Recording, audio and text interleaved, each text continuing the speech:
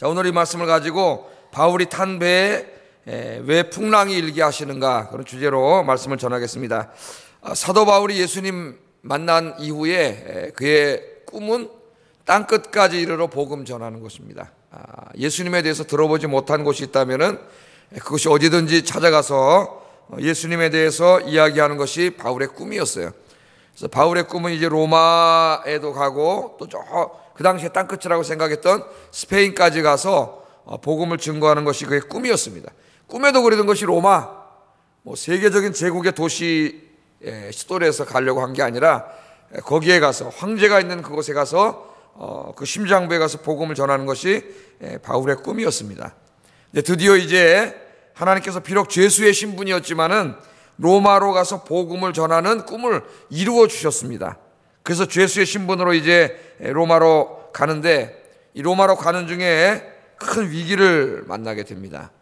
14일 동안 바울이 탄 배가 거친 파도와 풍랑에 떠밀려 갖고 정치 없이 지중해를 어, 떠돌아 다니고 살지 죽을지 알 수 없는 14일, 2주일 동안 여러분 바다에서 그것도 풍랑을 만나 가지고 그런 어, 어려움을 겪게 되지요.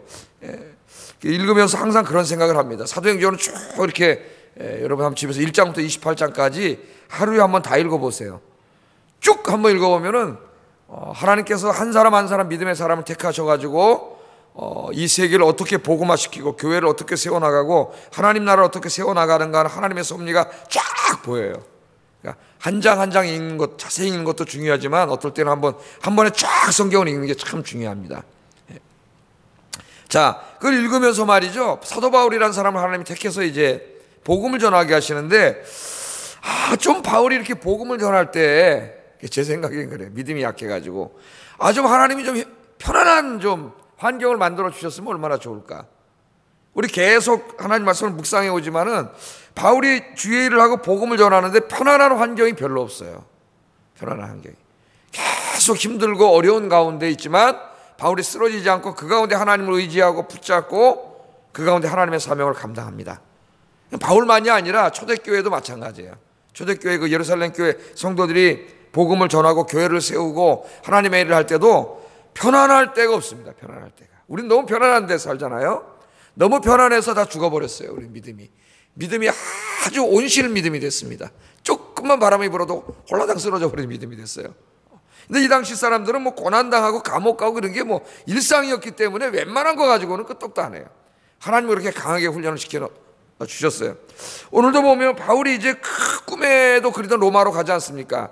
뭐 돈 벌러 가는 것도 아니고 관광 가는 것도 아니고 놀러 가는 것도 아니고 뭐 오직 복음을 위하여 가는 거예요. 복음을 위하여. 그럼 좀 그 배 타고 이제 가는데 아좀 가는 길이라도 좀 이렇게 좀 하나님 편안하게 갈 수 있도록 해 주셨으면 좋겠는데 오늘 말씀해 보니까 또 풍랑이 일어나요. 무려 14일 동안, 14일 동안. 왜 그러시는가, 하나님이. 이 27장을 읽으면서 또 사도행전을 읽으면서 우리가 갖게 되는 어, 질문입니다. 우리가 이 말씀을 통해서 우리의 삶에도 적용합니다. 우리가 예수 믿는다고 평탄한 삶만 어, 있는 것은 아닙니다. 예수 믿는 사람에게도 시련이 닥칠 때가 있고 거친 파도가 일고 거센 풍랑이 몰아칠 때가 어, 있습니다. 그것을 하나님께서 우리에게 보여주십니다.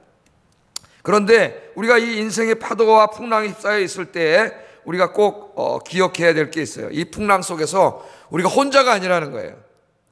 하나님이 함께 계십니다. 오늘도 보면 바울이 이 뱃속에 14일 동안 풍랑 속에 있지만 어, 하나님이 함께 계셨어요. 하나님이 함께 계셨기 때문에 바울은 두려워하지 아니하고 풍랑에서 이겨낼 수가 있었습니다. 또 왜 하나님이 자기가 이렇게 로마로 가서 주의를 하려고 하는데 왜 또 풍랑을 만나게 하시는지 그 섭리를 어, 깨닫게 됐어요. 그이 전에도 또 그렇죠, 여러분. 예루살렘 가서 복음 전하는데 또 하나님이 감옥에다 갖다가 놓고 로마로 금방 보내준다 해놓고 또 2년 동안 거기서 또 감옥에 있게 하세요. 왜 하나님이 그렇게 하시는가? 우리 계속 어, 그런 이야기를 하면서 왜 하나님께서 예수 잘 믿는 우리 인생에 그래도 내가 주님 위해서 한다고 최선을 다하는데도 어려움을 주시는가? 아, 그것들을 계속 아침에 살펴봤습니다. 오늘도 이 말씀을 통해서 하나님 주시는 어, 말씀을 몇 가지 듣기로 원하는데 여러분 귀에 가슴에 하나님이 말씀해 주실 줄로 믿습니다. 예. 첫째는 우리가 인생길을 살아가는데 누구의 말을 들어야 되는가? 아, 여기 대해서 한번 좀 생각해 보고 싶어요. 많은 소리가 들리는데 누구의 말을 들어야 되는가? 자, 여기 이제 바울이 드디어 어, 로마로 갑니다. 내가 가이사에게 재판을 받겠다. 로마로 가잖아요. 뭐 가이사에게 재판받고 조금 더 인생을 살고 로마에서 즐기고 뭐 그런 게 아니라 그랬습니다. 로마에 가서 복음 전해야 될 자기 사명을 감당하기 위해서 이제 로마로 가는데 여기에 책임자가 누구예요? 율리오라고 하는 백부장이 로마 군인 백부장이면은 백명의 군사를 다스리는 사람이니까 우리나라로 말하면 중대장 정도 되는 사람입니다. 육군 대위나 한 소령 정도 되는 사람이에요. 우리나라 지금 중대장은 보통 대위가 하죠. 육군 대위나 소령 정도 되는 어, 그런 사람입니다. 자, 이 사람이 바울을 도울 수 있는 몇 명을 몇 명과 함께 또 다른 죄수들과 이렇게 다 해가지고 이제 로마로 가게 됩니다. 오늘 이 말씀에 보면 8절까지 바울이 어디 어디를 거쳐서 어떻게 항해했는가가 쭉 나와요. 뭐 우리 지명을 잘 모르기 때문에 그냥 눈으로만 읽으면 잘 몰라요. 지도를 한번 좀 보겠습니다. 예. 아 여기 잘 나오네 여기. 요 바울이 여기서 이제 안디옥에서 떠나서 시리아 시돈에서 요 키프로스 요 떠나가지고 열로에서 오늘 읽어보세요. 반빌리아를 해가지고 이렇게 쭉 걸려서 로도로에서 살몬에 지도에 다 나오죠. 요 그레데 그레타라고 써있는 그레데 섬이에요 여기. 요 지금 8절까지 쭉 나옵니다 이 말씀이. 요 밑에 보면 미항이 여기 안 나오는데 여기 미항. 여기가 베닉스라고 하는 곳이에요. 여기가 미항이고. 요 미항에 도착했다고 8절에 나와요. 8절. 8절 한번 읽어보겠습니다. 시작.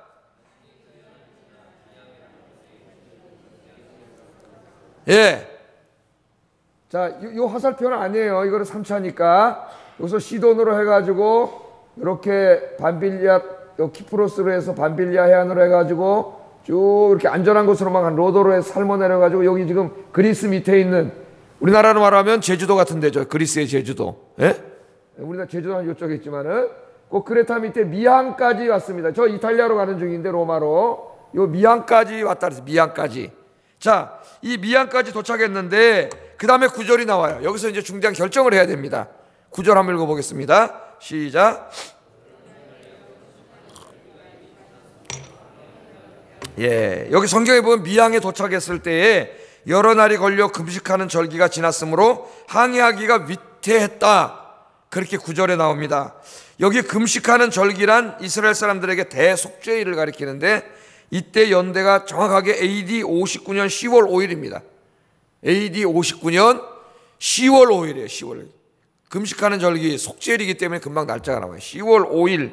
그런데 이 지역에는 9월 11일부터 11월 11일까지가 이 태풍이 부는 때예요.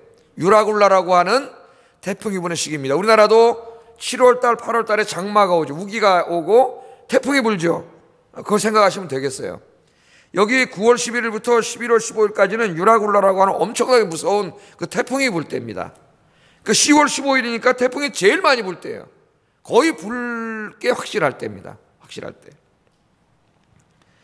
그러니까 이게 항해를 지금 해야 되느냐 말아야 되느냐를 이 책임자가 누구예요? 지금 율리오라고 하는 이제 이 백부장인데 이 사람이 결정을 해야 돼요.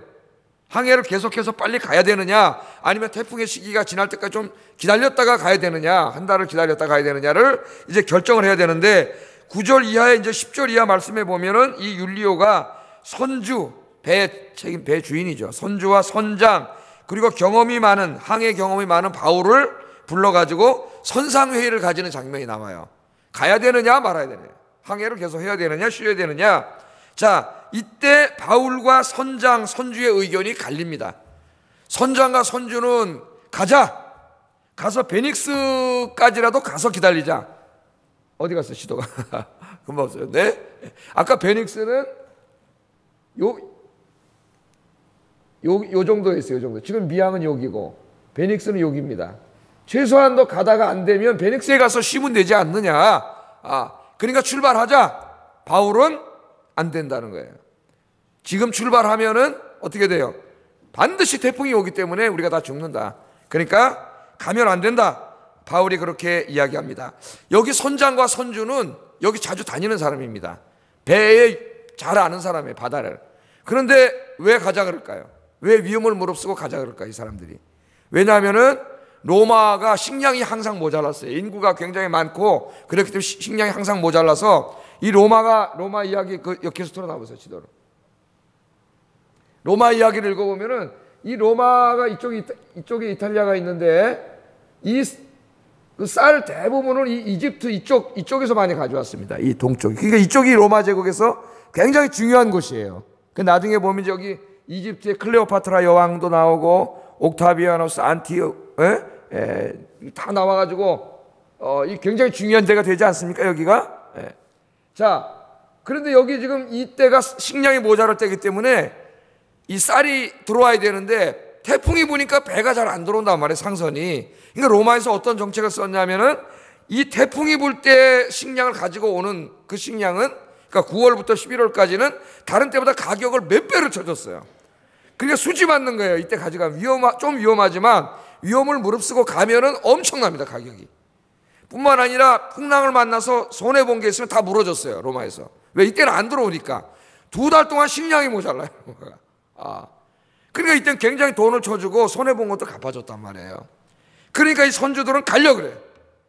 가다가 안 되면 아까 저 베닉스에 가서라도 잠깐 쉬면 되지 않겠느냐. 바울은 절대로 안 된다는 거. 이번에 가면 반드시 태풍이 분다. 물론 바울이 항해 경험이 많기 때문에 태풍이 분다는 것도 알고 있었지만 선장만큼 알겠어요? 그런데 누가 가르쳐 줬을까요? 하나님께서 가르쳐 주신 거예요. 그러면 이제 율리오가 결정을 해야 됩니다.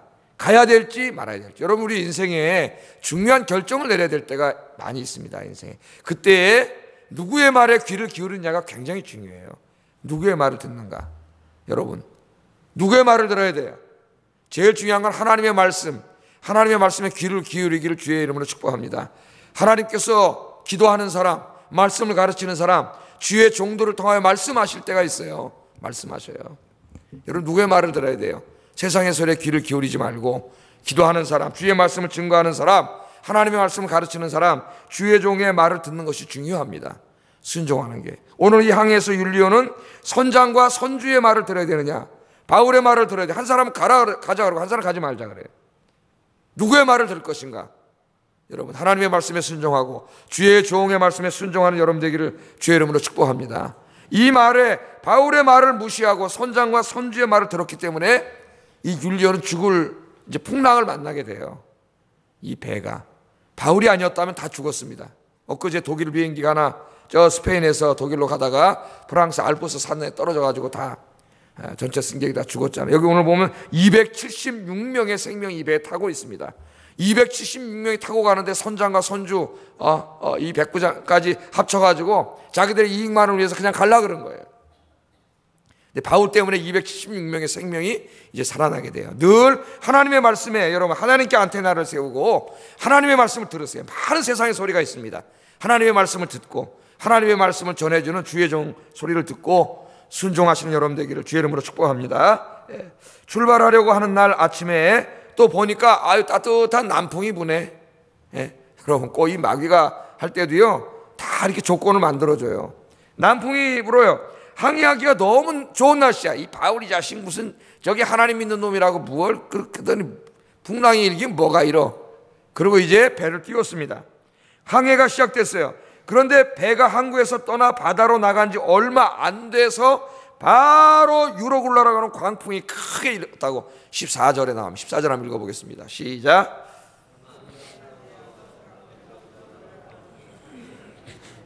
네. 이 광풍이 일어났는데 무려 오늘 성경을 계속 읽다 보면은 14일 동안 계속됐습니다. 한번 생각해 보세요, 여러분. 그냥 여기서 이 땅에 있어서 태풍이 불어도 무섭잖아요. 그래서 지난번에 바람이 너무 세게 분다고 유리창에다가 뭐 붙여놓으라 그랬어요. 테이프를 십자가로 붙여놓자 유리창이 확 바람에 깨진다 그래가지고 에? 예? 여기 튼튼한 집에 살면서도 두려워가지고 떠는데 여러분 그 망망한 바다에 조그만 옛날 배가 커봐야 얼마나 컸겠어요. 그 배에 탔는데 풍랑이 14일 동안 계속 오늘 보면 낮에는 태양도 안 보이고 밤에는 별도 안 보였다. 밤낮으로 14일 동안 배가 왔다 갔다 풍랑이 있는데 여러분 얼마나 공포 분 위기였겠습니까? 그게 계속 되는 거예요. 20절에 보면은 살 소망이 완전히 끊어졌다 그랬습니다. 20절 한번 읽어보겠습니다. 시작.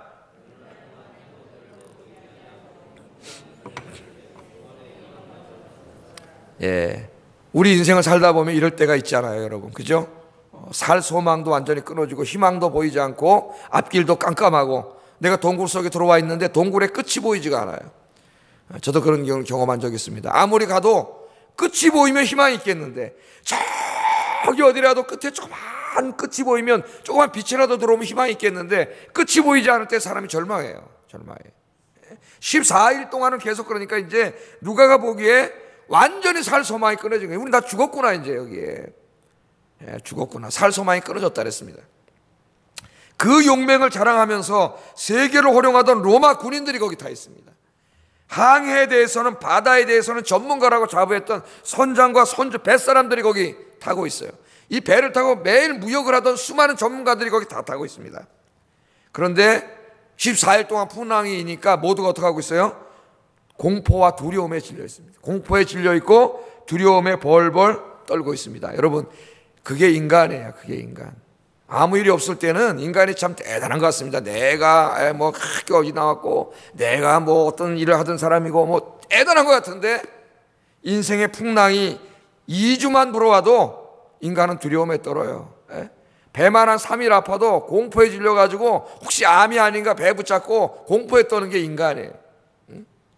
제가 이렇게 목회를 하면서 다른 교회에서 이렇게 부교육자 생활도 하고 하면서 보면 정말 건강할 때는 대단하던 사람들이 있습니다. 아, 이 사회적으로도 뭐 대단하던 사람들인데 어느 날 암에 걸려가지고 병원에 입원해서 그 신방을 가보면은 뭐 제가 아들뻘밖에 안 되잖아요. 부목사 할 때. 손잡고 울어요, 울어. 네, 눈물 흘리면서 울어요. 야, 저 사람이 건강할 때 저 때 저렇게 겸손하게 하나님 붙잡고 신앙생활 했으면 얼마나 좋을까. 아, 그런 생각이 들 때가 있어요. 그 대단한 것 같은데 병원에 걸려서 수술을 앞두고 있으면 다 애가 되고 아무것도 안 해요, 인간이.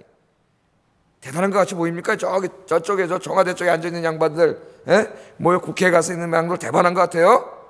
배만 3일 아파도 공포에 질리는 사람들이에요. 인간은 연약한 존재입니다. 그런데 이 2주 동안 풍랑이 일어나는데 276명 중에 275명이 공포에 질려갖고 이제 우리는 죽었구나 그러고 소망이 끊어졌는데 딱 한 사람은 달라. 평안한 사람이 있어요. 평안한 사람. 예. 예. 이 우리 교회 옛날에 그 성건아 목사님이 있었는데 그 공수부대 군목을 했습니다. 낙하산을 타고 이제 점프를 하고 떨어지고 그런 사람인데 이 공수부대 친구들 이렇게 보면은 낙하산을 많이 탄 사람도 비행기에서 많이 떨어진 사람도 비행기 타고 뛰어내릴 때는 다 얼굴이 약간 질, 약간 두려움에 있대요. 불안한 불안해. 왜? 이거 안 펴주면 어떻게 해요? 안 펴주면 도로 올라갈 수도 없고, 예? 뭐 죽어야 되잖아요. 다 불안했는데 그 친구들이 보면 한 사람만 마음이 평안하다는 거예요. 평안하게 보인다는 거예요. 누구냐 목사님. 왜냐하면 맨 처음에 60kg짜리 모래주머니를 떨어뜨린 됩니다. 낙하산 날아가지고. 그럼 이제 바람이 어디로 부나 이제 풍랑, 풍향을 일으키려고 떨어 뛰어내려요. 그 다음에 이제 제일 먼저 뛰어내리는 사람이 목사님이래요. 목사님을, 왜 목사를 뛰어내리게 하는지, 그 목사가 뛰어내린대요. 목사를 믿고 그러나 보죠. 에? 다른 사람 자꾸 불안해 있는데, 예, 내 아는 분도 그런 얘기를 해요. 그 이상하게 목사님은 얼굴이 좀 자기들하고 다르다는 거예요. 좀 평안하다는 거예요. 왜 그럴까요? 하나님이 함께 계심을 확신하기 때문에 낙하산에 안 펴지면 하나님이 펴주실 줄로 믿습니다. 이대로 떨어져 죽으면 순교해서 천국 가니 할렐루야. 아, 그래서 얼굴이 편안한 거예요. 275명이 다 여기 지금 공포에 질려 있는데 이 사람들을 보니까 한 사람만 아니야, 한 사람. 그 사람이 바로 사도 바울이에요. 여러분 공간복음서에서도 기억나죠? 제자들이 타고 가는 배가 풍랑 일어나가지고 막 배가 막 이래. 제자들이 다 어부잖아요 어부. 예? 배 전문가들이 바다. 근데 그 사람이 공포에 질려가지고 보니까 예수님 어떻게 하고 있어요? 배 밑에서 주무시고 계셔요. 배가 막 이러고 있는데. 예? 그 우리의 죽게 된 것을 왜 돌보지 않습니까? 가서 깨우잖아요. 예? 예수님이 탄 배에도 풍랑이 일어나요. 예? 예수님이 나오셔가지고 바다를 잠잠케 하시지 않습니까? 여러분 인생에 풍랑이 일어나면 걱정하지 마세요 하나님이 여러분과 함께 계십니다. 여러분 기도하면 하나님께서 잔잔케 해주실 줄로 믿습니다.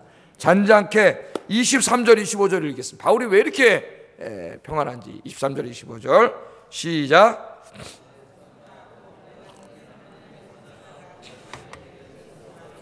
바울아 두려워하지 말라 내가 가이사 앞에 서야 하겠고 또 하나님께서 너와 함께 항의하는 자를 다 내게 주셨다 했으니 그러므로 여러분이여 안심하라 나는 내게 말씀하신 그대로 되리라고 하나님을 믿노라 아멘 사도 바울도 14일 동안 그 배 풍랑에 있지 않습니까? 예? 그 고린도후서 12장에 보면은 쭉 자기 인생을 정리할 때 보면 내가 바다에 여러 번 바다의 위험과 그런 말이 나와요. 바다의 위험 속에 있었다는 게 그 중에 하나가 바로 이 14일 동안 최고로 이 공포 분위기였는데 자, 이 14일 동안 뭐 낮에 해도 안 보이고 별도 안 보이는 막 시커먼 하늘에 바람이 막 부는 그때인데 그 배에 혼자인지 알았는데 바울도 그렇게 생각했을지도 모르죠. 예? 이제 꼼짝없이 죽나? 아니지 하나님 나를 로마로 가서 복음 전하게 해주신다고 했는데 예, 그런 마음도 있었겠죠. 인간이니까 연약해질 수도 있고 잘 모릅니다. 그런데 그날 어느 날 밤에 하나님의 사자가 바울 곁에 어떻게 했다고요? 서서 여러분 거 보세요. 23절에 하나님의 사자가 어젯밤 내 곁에 서서 어젯밤 밤에도 막 풍랑이 일어나니까 뭐 앞이 보였겠습니까? 어떻겠습니까? 막. 예? 가족은 물건까지 다 버릴 정도인데요. 어, 살아남기 위해서 배를 가볍게 하려고. 그런데 거기에 혼자 있는지 알았는데 누가 계셨어요? 하나님의 사자가 곁에 서 계셨습니다. 할렐루야. 감옥에 2년 동안 있을 때에도 그때도 바울이 감옥에서 기도하는데 누가 있다래 하나님께서 바울 곁에 서서 계셨다 그랬어요. 서서. 이상하게 바울하고 얘기할 때는 하나님이 서서 계시네요. 사도행전은 스테반이 순교할 때에도 예수님이 하늘 보좌에서 일어서서 계셨다 그랬어요. 일어서서. 누가 이 누가가 쓴 사도행전에 보면 다 서 계세요. 서서 계시면서 말하되 바울아 두려워하지 말라. 14일 그러니까 동안 아마 풍랑이 일어나니까 바울도 인간인지라 불안하고 두려운 마음이 약간 생겼겠죠. 그러니까 하나님 두려워하지 말라 그러죠. 예. 두려워하지 말라 그러면서 네가 반드시 가이사 앞에 서게 될 거다. 가이사 앞에 서려면 어디로 가야 돼요? 여기 살아가지고 로마로 가야 돼요. 바울은 중요한 걸 깨달았습니다. 자기가 지금 풍랑 속에 있고, 예? 뭐 살지 죽을지도 모르는 가운데 있지만은 이 배 속에 276명 자기들만 타고 있는 게 아니라 입에 누가 함께 타고 계세요? 하나님께서 함께 타고 계셨습니다. 할렐루야. 여러분 인생의 배에 풍랑이 올 수 있지만 그 풍랑이 올 때 여러분 절대 혼자가 아니라 누가 함께 계세요? 하나님께서 여러분과 함께 계신 줄로 믿습니다. 그러니까 두려워하지 마세요. 두려워하지 말고 이렇게 새벽에 나와서 기도하세요. 기도하시면 하나님이 여러분 인생 붙잡고 여러분의 배의 키를 붙잡고 여러분 안전한 항구로 여러분을 인도해 주실 줄로 믿습니다. 당황하지 말고 두려워하지 말고 기도하시기를 주의 이름으로 축복합니다. 그래서 풍랑을 잔지 않게 하시는 하나님, 늘 내 곁에 계시는 하나님, 살아계시는 하나님, 나를 지켜주시고 도와주시는 하나님을 여러분 인생에 체험하시는 여러분 되기를 주의 이름으로 축복합니다. 할렐루야. 잊지 마세요. 풍랑 가운데 누가 함께 계세요, 항상? 하나님께서. 언제까지? 언제까지 계신다 그랬어요? 세상 끝날까지. 믿습니까? 여러분 인생길 살아갈 때 혼자가 아니에요. 누가 항상 나의 등 뒤에 계세요. 하나님께서 계세요. 주님이 손잡고 계세요. 내가 믿음이 없어지면 안 보여요. 안 느껴져요. 나 혼자인 것 같아요. 나 혼자인 것 같이 느껴집니까? 여러분 기도하지 않고 있습니다, 지금. 여러분 기도, 기도해 보세요. 여러분이 기도하면 혼자라는 느낌이 들지 않아요. 똑같이 힘들고 어려운 일이 막 쓰나미처럼 몰려온다 할지라도 기도하는 사람에게는 절대 혼자라는 느낌이 들지 않습니다. 비록 풍랑이 오고 해일이 오고 쓰나미가 와도 누가 나와 함께 계세요? 하나님이 함께 계심을 확실히 믿으면 두렵지 않습니다. 평안이 찾아옵니다. 그래서 믿음이 있는 사람들이 누리는 평안은 뭐 잔잔한 바다에서 누리는 평안이 아니에요. 풍랑이 몰아치는 가운데서 누릴 수 있는 평안. 그 평안이 여러분에게 이 시간에 가득하기를 주의 이름으로 축복합니다. 자, 마지막으로 한 가지 말씀드리고 설교를 마치려고 그러는데 도대체 왜 하나님께서 이렇게 배 타고 좀 로마에 가서 복음 전하려면은 좀 편안하게 좀 가게 해주시지. 유리굴라가 좀 오다가도 좀 바울 배가 오면 싹 좀 이렇게 좀 해주면 안 됩니까? 그렇게 생각하잖아요. 물론 하나님 그렇게 해주실 때도 있어요. 예? 풍랑이 오다가도 우리가 주의를 하려면 그냥 싹 없애주실 때도 있어요. 그러나 어떤 때는 더 센 풍랑이 오게 하실 때도 있어요. 그때는 제가 뭐라 그랬습니까? 하나님의 뜻이 있다 그랬습니다. 하나님의 뜻이. 로마 감옥에 이전 있을 때도 제가 말씀드렸죠. 어, 내가 하나님을 경외하고 주의를 열심히 하고 기도하는데도 내 인생에 풍랑이 몰려올 때는 거기에는 내 인생을 향한 풍랑을 주시는 하나님의 선하신 뜻이 있다 그랬어요. 그 뜻.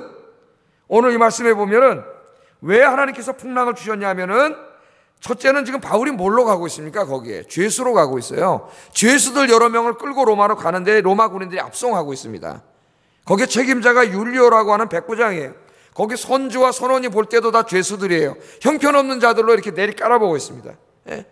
그래서 이 백부장도 바울 말 듣지 않고 선장과 선주 말을 들었어요. 그렇게 가는데 여기 풍랑이 일어났는데 모두가 두려워서 벌벌 떠는데 사도 바울만 두려워하지 않아요. 사도 바울이 일어나서 안심하라. 너희들 한 명도 죽지 않는다. 하나님께서 어젯밤에 내게 말씀하셨는데 나는 하나님이 말씀하신 대로 그대로 될 줄로 믿는다.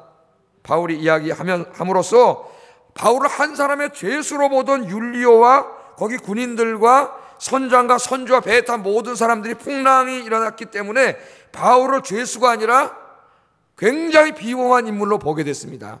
그래서 이 27장을 읽어보세요. 누가 지도자가 돼요, 나중에?